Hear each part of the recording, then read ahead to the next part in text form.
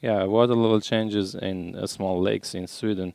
Uh, this method can be applied to uh, coastal areas as well, but here I only explained what we did in small lakes in Sweden.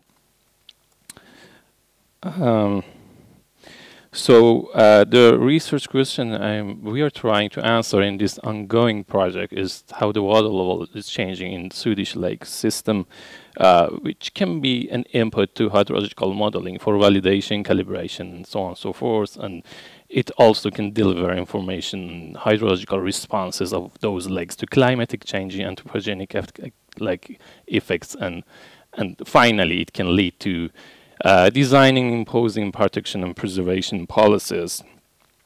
Uh, but uh, but measuring the water level changes in lakes is easier said than done.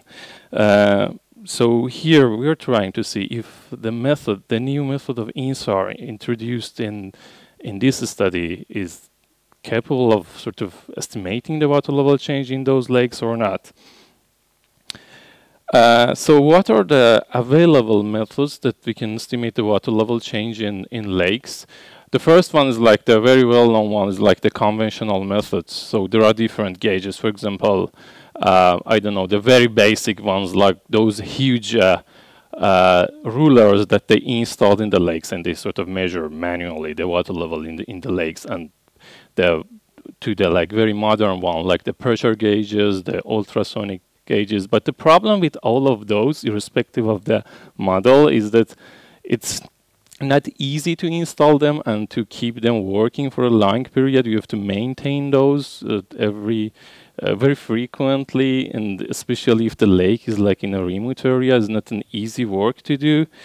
And the other uh, method is satellite altimetry that works only in large lakes and uh, for instance, there are only five lakes large enough in Sweden that can be detected uh, by satellite altimetry. How about drones? Expensive, hard to implement. There are a lot of preparation. And so I don't think that it's efficient to measure the water level change. And finally, the common INSAR method. There are existing INSAR methods but the problem with them that they sort of measure the water level, uh, the actually relative change in water level spatially. It means that the change in water level in one point is relative to the neighboring points.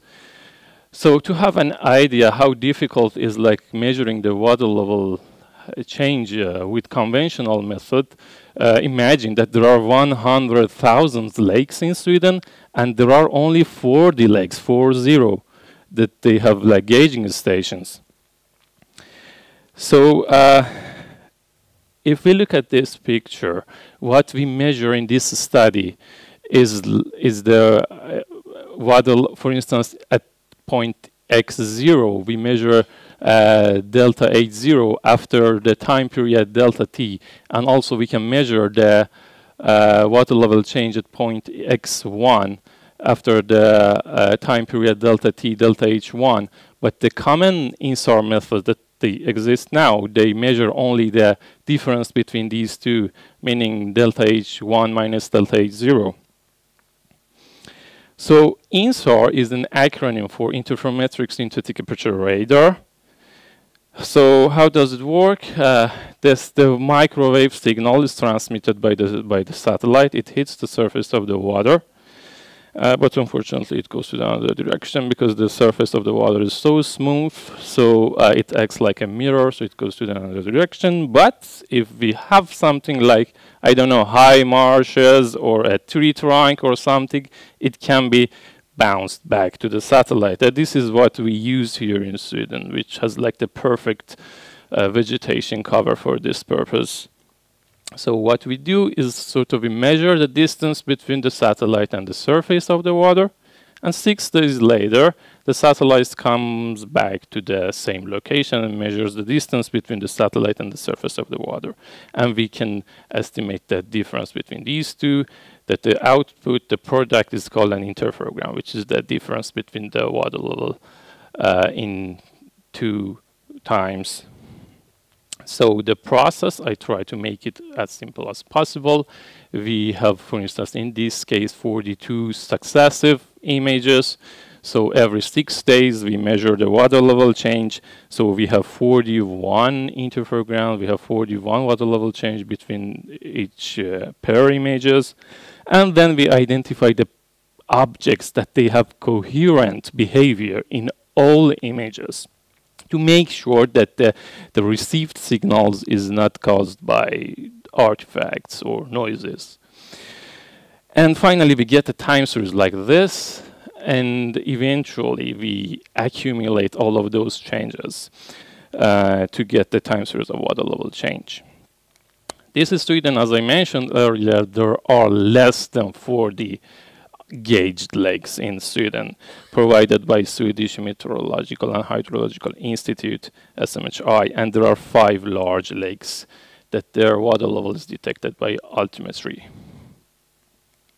Here I show the result, the time series of water level change derived from the INSAR on the left vertical axis, axis and, the, and from the SMHI on the right vertical axis. So for these four lakes, we can see the trends are fairly similar, similar but the magnitudes are a bit different. And here we can see the scatter plot of that. So as we see, the correlation is, is very high. It means that the trend, the, the direction of the change is very well predicted by the INSAR, uh, not the magnitude though. Uh, this is uh, for the whole lakes in Sweden with the gauged uh, stations. So the bigger and the happier the faces, the higher the correlation, correlation is. And uh, the correlation range is between 0.51 and uh, 0.98, which is fairly high. So with this method, uh, we can, uh, uh, this isn't actually efficient method to estimate the water level change in day and night and in all meteorological conditions and uh, like very, very cheap. But the problem is that we can only estimate uh, the direction of the change, not the magnitude. Uh, so far, actually, we haven't been able to estimate the magnitude of the change. And if the water level changes uh, exceed the radar wavelength, then we are not able to detect the water level change. That's one of the other problems. Um, so, but the good thing, the good news actually is that in Sweden the water level change doesn't have like peak magnitudes. So, and the vegetation cover is very, very suitable for applying this method uh, what we are doing now, actually, we have done some of these things so far, and we are looking for what to doing more is like to identify the vegetation cover and also the lake characteristic and the objects with very high correlation. Then we probably would be able to model the, the, the magnitude of the water level change. And finally, we can estimate uh, both the magnitude and direction in ungauged lakes, which can sort of be very beneficial to understand the hydrological system of the whole Sweden. Uh, thank you for listening. Thank you, Thank you.